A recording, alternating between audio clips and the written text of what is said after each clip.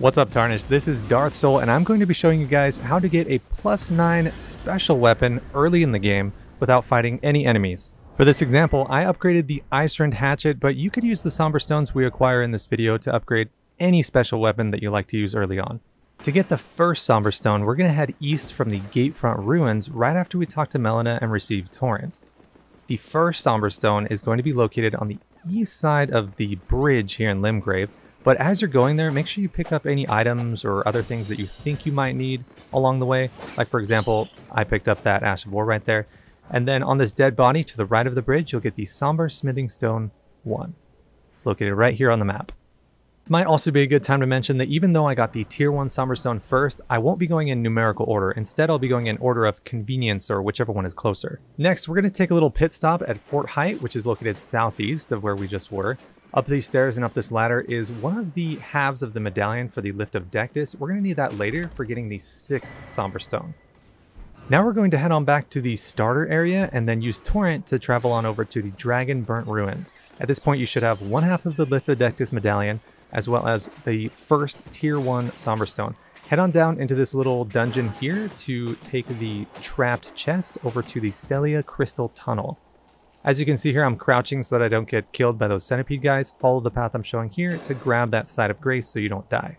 Once you've done that, head on up this ladder. I kind of took a wrong turn as I was trying to find this next somber stone. Uh, so don't go up here where I'm showing you right now. Instead, go back and jump over on top of these little sheds. Head on through this tunnel, up this ladder, and then turn around and you should get the somber smithing stone 4 from that dead body right there. Next, we need to exit the Sellia Crystal Tunnel into Caelid and then follow the cliffs on the right until we see a canyon on our right, right here.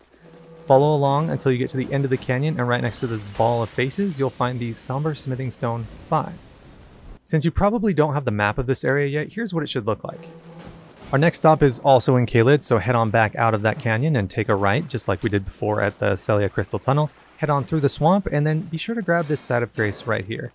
After that site of Grace, we'll basically take a U-turn and then head along the top of those cliffs that we just passed while in the swamp. So you should see the swamp off to your right below those cliffs. Also, as you're going along through Caelid or any of these other areas, be sure to pick up any golden runes that you find on these tombstones. You'll need those to upgrade your weapon later. At this point, you should have now reached the Dragonbarrow West site of Grace. To the northeast of that site of Grace on this tree should be a scarab that's just hanging out. Now with your low level weapons, if this is early in the game, it might be a little difficult to kill or it might take a little while, but it's not too bad because it never fights back. But it does explode, so look out for that. Now you should have the Somber Smithing Stone 8. Here's kind of what it looks like on the map. Next, we're going to head southeast of where we just were to Fort Faroth. In Fort Faroth is the other half of the Lift of Dectus medallion that we need to pick up, and since we're already here in Caelid, we might as well pick it up now instead of having to come back later. I like to head over to the burnt out wall and then keep on the right side to avoid any of those dragons that might come after you. If you do that, you should be able to just run through here on Torrent fairly easily. Once you're at Fort Faroth, the medallion is not too hard to find. All you need to do is run past all the bats in this center room. As long as you go quick enough, they shouldn't be able to hit you. At the top of this ladder is a chest that contains the other half of the Lift of Dectus medallion. Now here's where things get a little complicated, so we're going to head on back to the gatefront site of Grace and follow up this path here until we get to the Castleward Tunnel. It's very important that you get this site of Grace and rest at it. After resting at the Castleward Tunnel site of Grace, we're going to head north and go onto the east side around the castle so that we just skip the Limgrave Castle entirely. Now at this point, it's very important that you do not rest at any other sites of Grace until we get to the Belfries. So once again, do not rest at any other sites of grace. See this one on the right? I'm just passing it up, not resting there. But before we get to the four belfries, we're going to take a couple pit stops. So first is the village of the Albinaurics under the cliffs here. Take this bridge that's on that right side. There's also a crystal sword you can pick up on the way here, but up on this rock at this location is another one of those scarabs. This one should have the Somber Smithing Stone Tier 2. At this point, we'll head directly north of where we just were to the Temple Quarter. This is where you can pick up the Icerind Hatchet. It's located in a chest underneath one of these buildings here. If you don't want to use the Icerind Hatchet, you can just skip this part. Our next stop is just to the north of the Four Belfries before we head on up there. On the north side, on one of the lower hanging cliffs, is a body in a chair that contains the Somber Smithing Stone 3. Now it's finally time to head on up to the four belfries, which I just showed you on the map. Remember, do not get this site of Grace. The last one we should have rested at was the Castleward Tunnel site of Grace. At the top here on the first belfry is the imbued sword key. We're going to use that to activate the last one at the very bottom.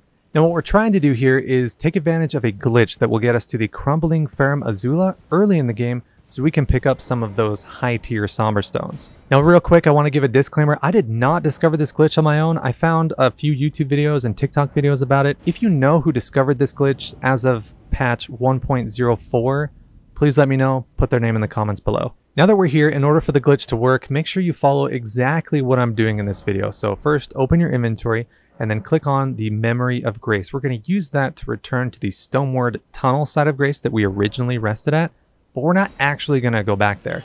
So we're going to click yes, use it, but before it gets to like 90%, around 80%, we're going to Alt F4 out of there and then reopen Elden Ring, click on continue, and then you should respawn at the Crumbling Farum Azula. Now there is a very similar method that's just a little bit different, but it is slightly more complicated and I haven't really had as much success with that method working. The method I just showed you now should work almost, if not every single time.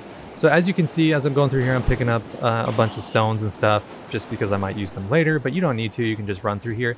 Be sure to grab all these Sites of Grace because these enemies are fairly difficult and will probably kill you at least once while you're running through. And you wouldn't want to have to start over completely. So real quick, as another little tip, after the third Site of Grace, hanging over the cliff on a body is the Somberstone Miner's Bell Bearing Tier 4, which will allow you to purchase Somberstone 7 and 8. But you should already have 8 and you can pick up Somber Smithing Stone 7 from that body I just showed you there. Somber Stones 7 and 9 are located very close together. Just keep following this path here till you get to this pillar and you'll find Somber Smithing Stone 9. If you have followed along exactly with the rest of the video, you should now have every other Somber Stone except for Somber Stone Tier 6. Somber Stone Tier 6 is going to be found in Mount Gelmir or Gelmir, however you say that. But it's a little bit of a trek to get there, and it's the reason why we got both halves of the Lift of Dectus medallion. And in case you didn't know where the Lift of Dectus is, that's what I'm showing in the video right now. This is how I would skip the Academy. Since the goal of this video is to show you guys where to get these Somber Stones 1 through 9 without fighting any enemies, it does involve a lot of running around. But I think it's important to mention that if you wanted to, there is a way to get a Somber Stone tier 6 earlier in the game in Caelid, but you do need to fight a boss. So right now I'm showing you the very, very long trek over to Mount Gelmir to get the Somber Stone tier 6. But if you wanted to, I'll put at the end of this video the method that I would probably use to get that sixth one. All right, we're almost there. Just keep heading up those Spirit Springs across this bridge, and then on the left should be the first site of grace that you'll find at Mount Gelmir. But the Somber Stone we're looking for is after the second site of grace. So we're going to keep going along the left side here, along these cliffs, you will find a ladder. As you can see, I died a couple times attempting this. Those guardian guys at the bottom are quite aggressive, so look out for those guys. But once you reach the top of the ladder, on the left will be that next site of grace you're looking for. The name of this site of grace is the first Mount Gelmir campsite, and if you just pass all the graves here and head on up to this rock, you should see a body in a chair that contains the Somber Smithing Stone. And that is it. Congratulations. If you followed along with the entire video, you should now have Somber Stones tiers 1 through 9. And if you picked up any of the golden runes that you found on graves or just lying around along the way, you should definitely have more than enough runes to upgrade that weapon. Also, if you found this video helpful or enjoyable in any way, please be sure to like and subscribe. Or if you have any kind and helpful critiques or tips for other players to help them with getting these Somber Smithing Stones early in the game, please be sure to comment that below. Or once again, if you do know who came up with that glitch for getting to the Crumbling Farum Azula, please be sure to comment their name down below so that I can appropriately credit them. And last but not least, as promised, I'll be showing you guys how to get the Somber Smithing Stone Tier 6 earlier in the game without going up that Lift of Dectus. So you'll want to head on back to that Sellia Crystal Tunnel that I showed earlier in this video. The boss of this Sellia Crystal Tunnel does drop a Somber Smithing Stone 6, as well as some other very useful items if you're able to kill it. I would personally recommend using the other Somber Stones you've already acquired to upgrade a special weapon to plus 5 before attempting the boss. That should make it a lot easier, or you can go level up and come back here later if you're not too worried about getting those Somber Stones too early in the game. I personally had a lot of difficulty beating this boss this early in the game. In fact, I actually couldn't do it. I, I spent a long time. I probably went through about 20 different tries before I eventually gave up and just ran over to Mount Gelmir to get the sixth one. But if you can do it, good for you. And that's that. Thank you guys so much for watching. Darth Soul out.